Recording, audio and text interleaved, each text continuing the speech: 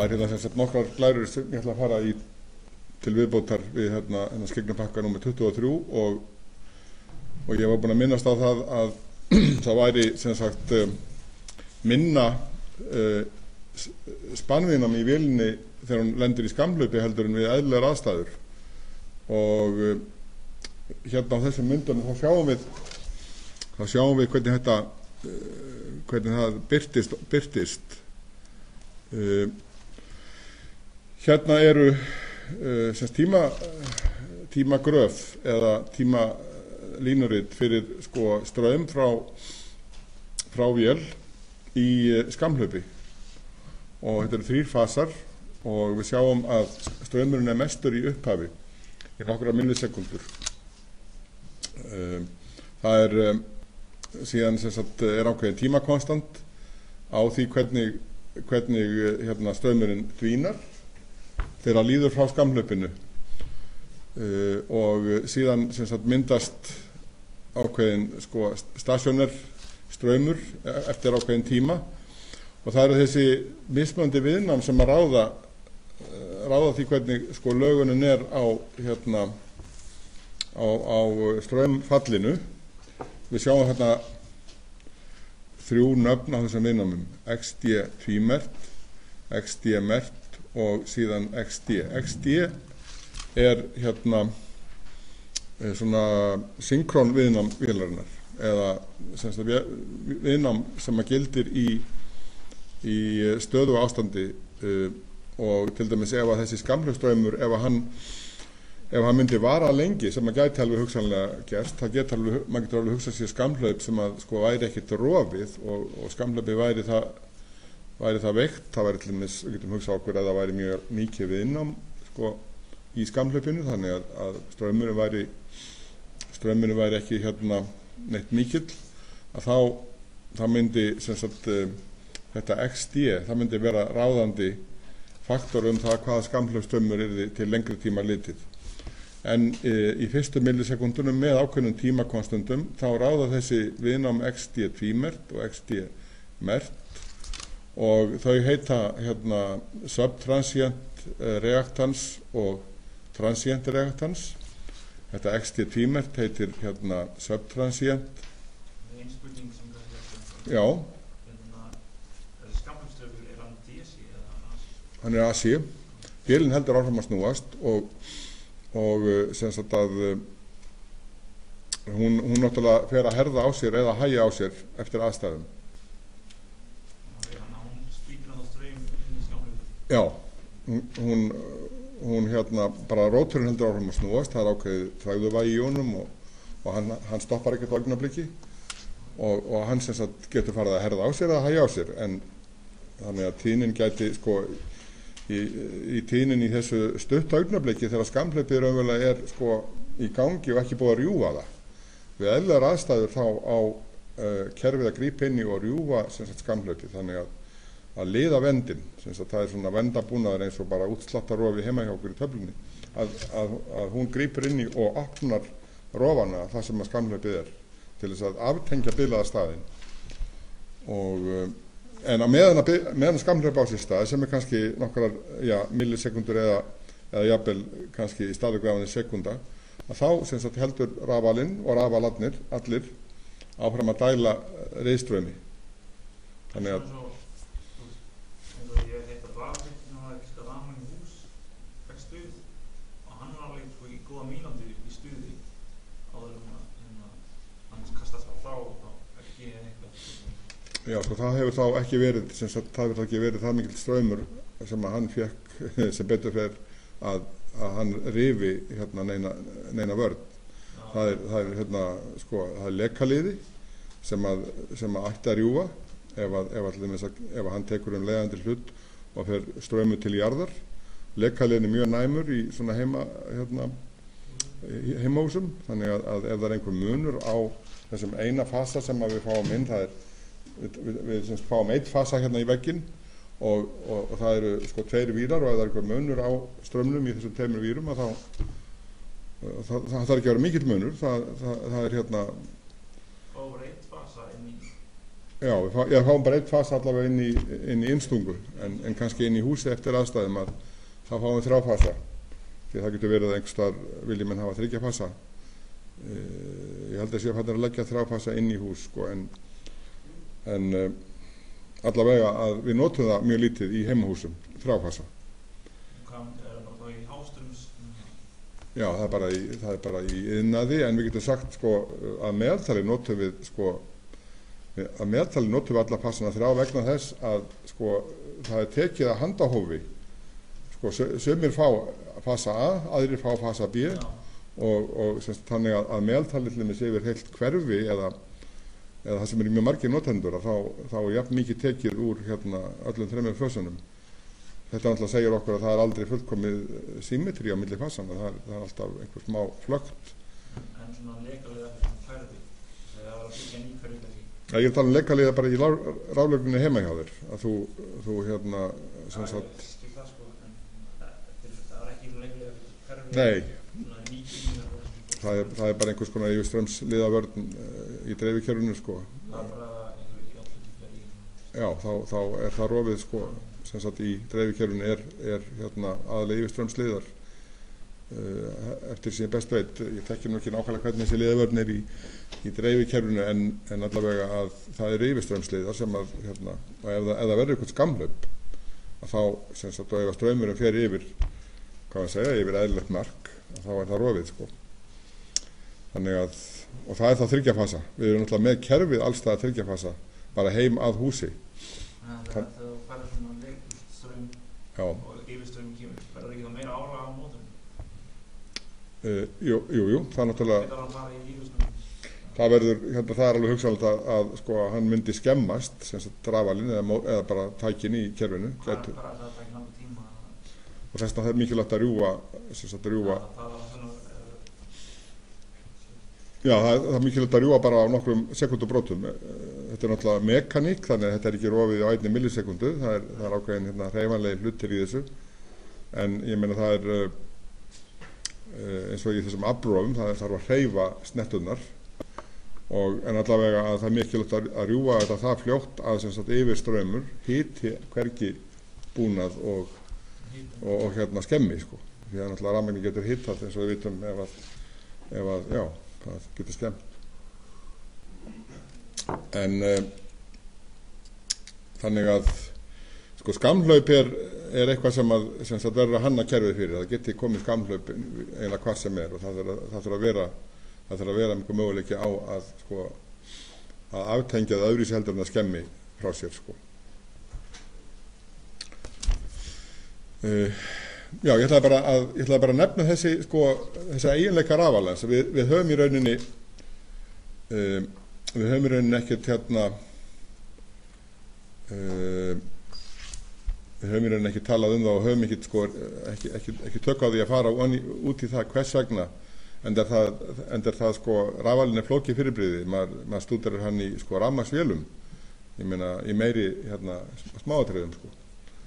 og það er einmitt það sem að hérna sem eru eftir, eftir, eftir áramótin sko. en uh,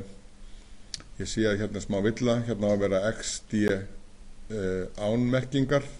Þetta er samfasa uh, samfasa spanviðnámið sem er mert sem blátt. Og en XD tvímert, ég skal laga þetta villu á, á hérna, afritinu sem það fáið af skegnunni XD tvímerti er sem sagt það sem kallaði subtransient hérna, reaktans og það er í rauninni sko, með tímakonstant sem er uh, minnstur af þessum þremur. Uh, og þessi tímakonstantar það það, það er hvað, hvað að segja, það það er erfitt að, að raukstiða þá nefnum með því að leiða út nákvæmt líkan af vélinni. Hvers vegna, hvers vegna uh, þeir eru eins og þeir eru að það, það, það ætla ég ekki að fara út í núna. Þið getur bara tekið þetta sem gefna staðreind að það eru sagt, viðnám í vélinni sem virka í skamhlaupi og þau eru minni í upphafi heldur en, heldur en til lengri tíma litið. Þannig við fáum svona herri ströyma hérna sjáu þið í upphafi. Upphafi skamhlaupsins þá fá- fáum við riðströyma og við fáum herri ströyma heldur en eh, til lengri tíma litið. Þetta er bara eins og dempaða sveiflur sem, sem að fara minkandi niður í ákveðið staðsjónert ástand við sjáum líka að við fáum ákveðna DC komponenta hérna í upphafi hérna eru sko brotna línur sem að sagt sveiflurnar aðeins frá nulli þannig að strömmunum verður aðeins ósymmetrískur uh,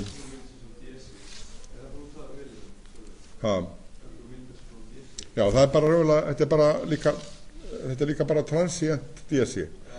menna þetta er bara DC miða við 50 riðin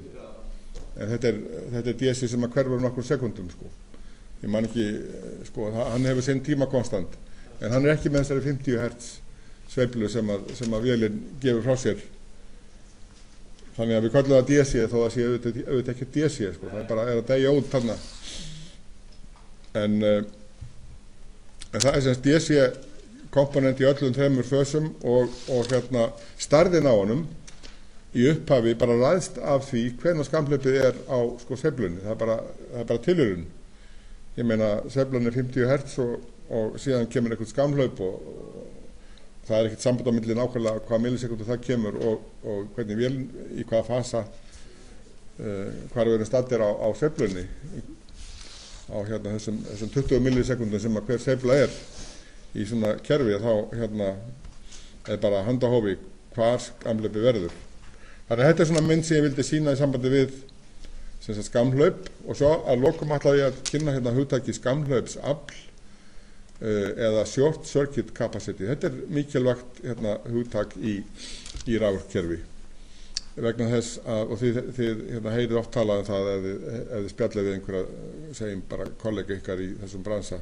og ekki sé annað þá hérna heyrið talað um skamhlaupsafl skamhlaupsafl er hérna er bara það afl sem að róvarnir sem eiga að rjúfa skamhlaupið ef það kemur þeir þurfa að rjúfa sem spilaða staðin frá uh, sko kerfinu og þeir þurfa að þóla þetta skamhlaupsafl skamhlaupsaflið eða SCSC er spennan sem að var á staðnum fyrir skamhlaup sinnum ströymurinn sem verður í skamhlaupinu þetta er auðvitað bara eitthvað svona síndaraflsmælikvarði uh, þegar aðalega sko þetta er aðalega sem sagt magn strömsins óháð fasanum hvað er mörg amper uh, og sinnum sem sagt svo spenna sem að rofin þarf að, að þóla þó að, að spennan hafi dóttið niður á staðnum að þá þarf rofin að geta uh, þólað sem sagt þá spennu sem var fyrir skamlaup þannig að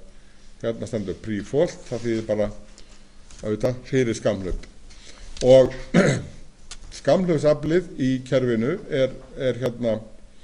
það er skamlaupsafl á hverjum stað í kerfinu hver teitn og hver staður ekki bara hver teitn heldur meina hvað sem er á háspennlínu er, er ákveðið skamlaupsafl og þetta hangir eins og hérna ég verið að tala um innvinnamið á viðkomandi stað. Þetta hangir mjög saman við innvinnamið hvað er sem sagt skamhlaupströymurinn skamhlaupströymurinn er, er spennan er delt með spennan sem er fyrir skamhlaup delt með uh, viðnamunum þessum tveimur viðnamunum við fórum í þetta síðast þessi tvö viðnam er í fyrsta lagi innvinnam inn á kerfið eða viðnamið í þefinin jafngildi sem við sjáum ef við setjum uh, tökum einn ákveðin punkt út úr kerfinu. Þá sjáum við þefinin jafngildi sem er uh, einhver spennulind með stærðinni vaff prífólt og viðnám sem er þetta innvinnam inn á kerfið. Við getum reynilega tekið allt kerfið og búið til þefinin jafngildi fyrir það með þessum tveimur komponentum spenna fyrir skamhlaup og innvinnamið að auki er náttúrulega hugsanlegt að sé viðnám í sjálfu skamhlaupinu þannig að þessi tvö viðnám þau ráða strömmnum ef að, ef að hérna, setja f er 0 ef að setja f er 0 þá er náttúrulega skamhlaupsaflið hvað mest. Þá, þá verður hérna, nefnarinn lagstur og, og SCC verður hæst. Það er í rauninni aðalega þetta viðnám setja inn sem að ræðu skamhlausaflinu því að við þurfum alltaf að gera ráð fyrir því að setja F getur orðið 0 og við fáum sem sagt reynd skamhlaus þannig að SCC ef við gerum ráð fyrir því að alla spennur í kerfinu séu ein eining það er mjög nálagt því að það er mjög nálagt því að, að hérna vera þannig ef að kerfið er ekki aðlilega að sem sagt það sem að spenna á að vera 220 kV þá væri hún kannski 219,5 eða 221 eitthvað slíkt. Nálægt því að vera það sem að hérna, nálægt því að vera ein eining. Þá sjáum við bara hreinlega þetta skamhlausafl mælikvarðin á það er fyrst og fremst og engöngu setja inn. Skamhlausafli er, er í öfugur hlutalli við sko, það, það er viðnám sem við sjáum inn á kerfið og Þetta eru svona, það er skyggnum sem ég ætlaði að fara í, semst í sambandi við skamhlaups uh, greiningu, sko. Við erum, við erum búin að, við erum búin að hérna sjá að aðalatriðið í þessu er innvinamið inn á kerfið, ég er búin að fara, fara yfir það og maður fær það með því að skoða hodnalínu, hodnalínuna í setta fylkinu. Ef við viljum semst há hérna tölvu aðferð til þess þá þá verðum við að, að skoða setafylgið, seta, seta börs. Um, síðan er hérna smá, uh, smávegis uh, svona umfjöllunum við hefum ekki talað um, það er náttúrulega mörg, það er náttúrulega mörg efni sem væri áhugavert að hérna, tala um í samfundir árkerfi sem ekki er tími til að tala um í svona, hvað við segja, ingangsnámskeiði. Til dæmis ég fór, var með hérna skegnumpakka um hérna jafnströmskerfi sem er væri mjög áhugavert að, að fara yfir. Við hefum ekki talað neitt um hérna um dýnamíska hegðun eða hreyfi hegðun eða sveiflur í kerfinu. Þetta er allt saman það sem við höfum verið að tala um er allt bara svona stöðu mynd svona eins og bara ljósmyndakerfinu eitthvað, augnablíkst ástand. En uh, það væri einlega náttúrulega áhugaverður að skoða kvikmyndakerfinu þar að segja hreyfingu á því hvað gerist En eitt af því sem við höfum ekki mikið tíma til að skoða en kannski áhugavert að aðeins að kíkja á eru þessar stjórnstöðvar. Og ég ætla bara að bræða hérna upp örfáum uh, skyggnum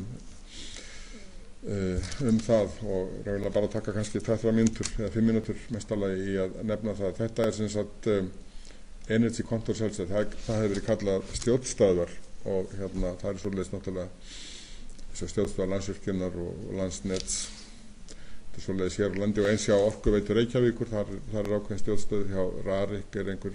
einhver vísjara stjórnstöð. Og það sem gerist í þessi stjórnstöðum er náttúrulega bara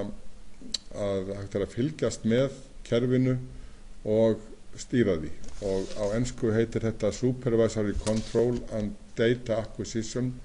Þetta er svona gamalt gammal skamstöðin fyrir stjórnstöðvar það er SCADA, Supervisory Control and Data Acquisition.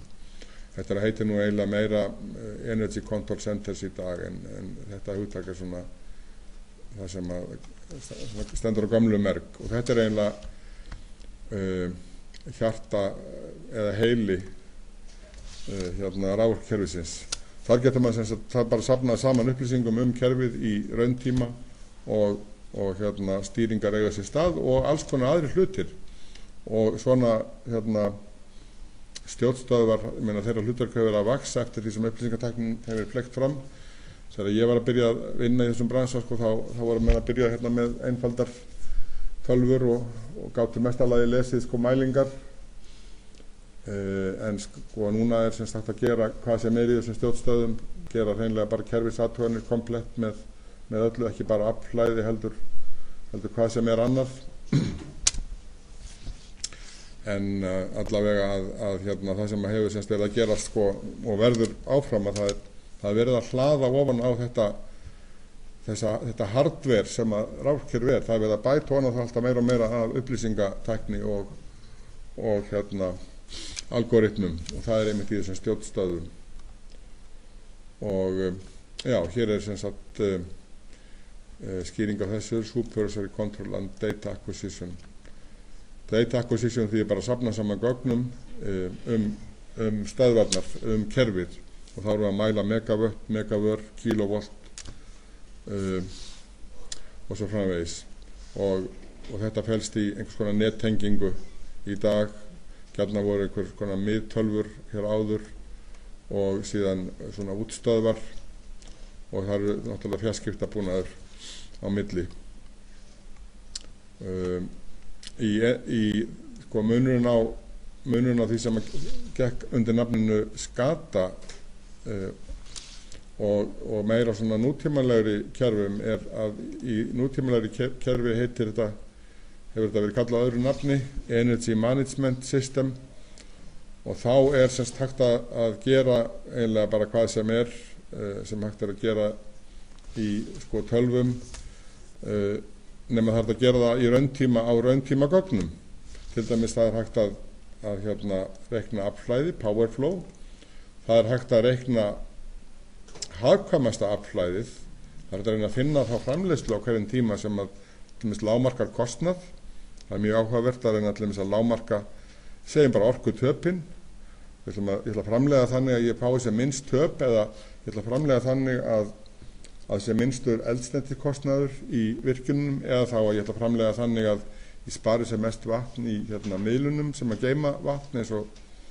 og þórisvatn eða kárufuggarljóni eða, eða einhverju slíku uh, ég ætla að meta alltaf hérna öryggi kerfisins á hverjum tíma